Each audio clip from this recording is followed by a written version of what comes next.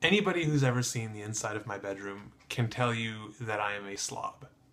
There is no order in there. I was moving stuff around to get my lamp, and I find piles of change uh, everywhere. I must have 10 $15 of change just lying around.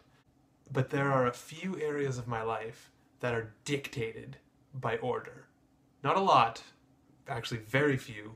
I ride the bus every day to work, just to work, actually. Where else? Oh, groceries, I guess. Riding the bus for groceries sucks. The bus. So I ride the bus every day. Except for the days that I'm too lazy to leave the house. Those are the best days. And when I get onto the bus, there's a very complex algorithm that I don't even understand on which seats I can and can't sit on. At a quick glance, you can see which seats I can and can't sit in.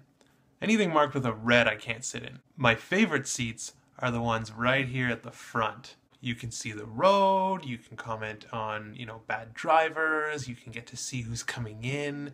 If there are people sitting in the front, then I like to sit at the back here.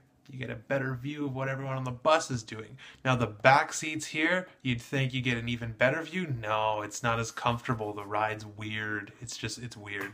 Uh, not as good.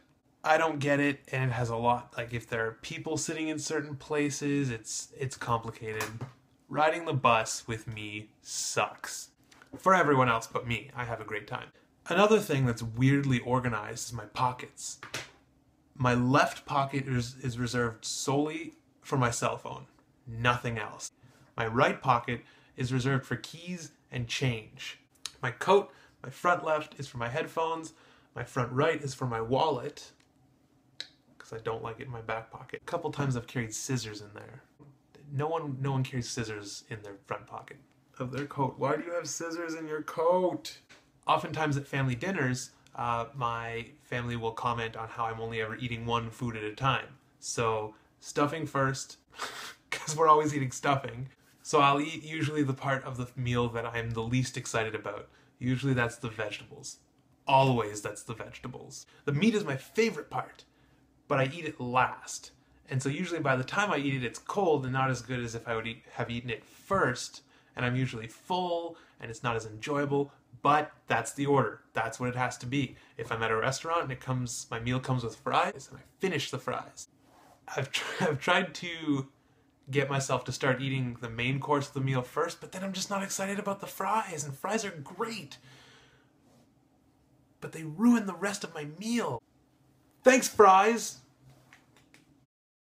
Sometimes I just count things.